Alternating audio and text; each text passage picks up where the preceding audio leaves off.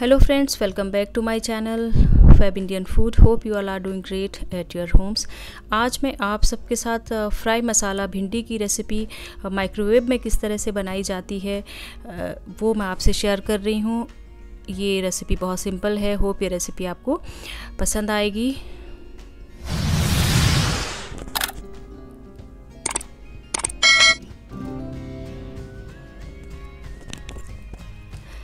चलिए recipe start करते हैं। यहाँ पे मैंने 400 ग्राम्स जो है भिंडी को काट के वॉश करके, एकदम ड्राई करके इस तरह से रख लिया है। भिंडी एकदम ड्राई होनी चाहिए और उसी में ऐड कर लिया है टेस्ट के अकॉर्डिंग सॉल्ट और साथ ही में ऐड कर लेंगे हाफ़ स्पून धनिया पाउडर हाफ़ स्पून हल्दी पाउडर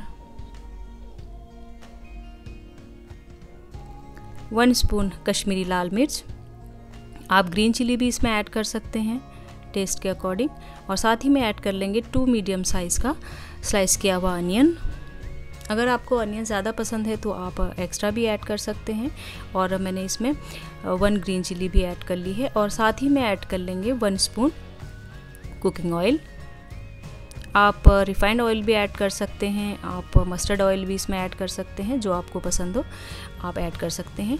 इन सब चीज़ों को अच्छे से मिक्स कर लेंगे। बहुत ही क्विकली ये रेसिपी माइक्रोवेव में रेडी हो जाती है और भिंडी भी काफ़ी टेस्ट में कोई ऐसा फ़र्क नहीं आता जिस तरह से हम गैस पे बनाते हैं। टेस्ट इसका बिल्कुल वैसे ही मिलता है जैसे हम खाते हैं और माइक्रोवेव में कोई इसका टेस्ट बिल्कुल भी चेंज नहीं होता है।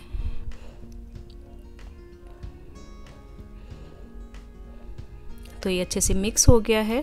आप चाहें तो इसी जो है माइक्रोवेव बॉल में आप इसको कुक कर सकते हैं, या फिर जो माइक्रोवेव की जो बेकिंग प्लेट होती है, आप उसमें भी जो है इसको कुक कर सकते हैं। तो मैं इसको इस प्लेट में ट्रांसफ़र कर देती हूँ।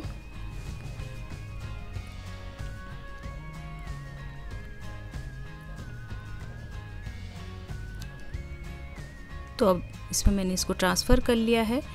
तो इसे अब हम माइक्रोवेव में सेट कर लेते हैं।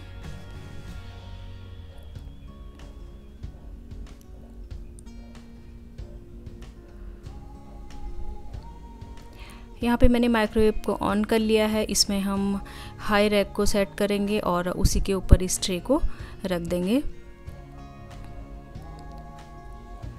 इसके बाद माइक्रोवेव का कन्वेक्शन मोड हम ऑन करेंगे और सबसे हाई पावर पे इसको सेट करेंगे। 230 डिग्री पे मैंने इसको सेट कर लिया है।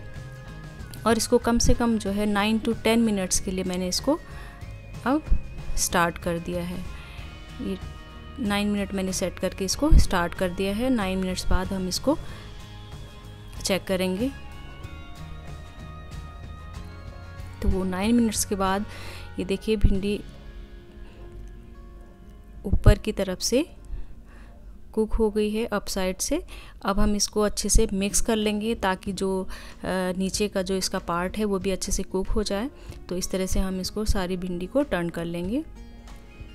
और उसी प्रोसेस से फिर से हम इसको माइक्रोवेव में कन्वेक्शन मोड पे फिर से कुक करेंगे।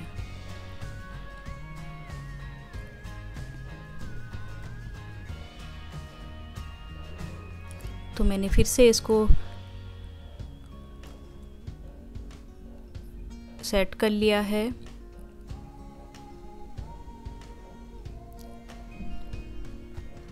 नाइन मिनट्स के लिए। तो ये देखिए, नाइन मिनट्स भी हो चुके हैं। अब जो है ये नाइन मिनट्स भी फिनिश हो गए हैं।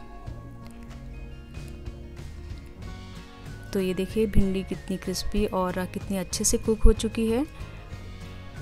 होप ये रेसिपी आपको पसंद आई होगी। रेसिपी पसंद आए तो लाइक कीजिएगा शेयर कीजिएगा और मेरे चैनल को सब्सक्राइब कीजिएगा। तो मिलती हूँ अगली बार नई रेसिपी के साथ। तक तब तक अपना ख्याल रखिएगा। Thanks for watching Take care. Bye bye.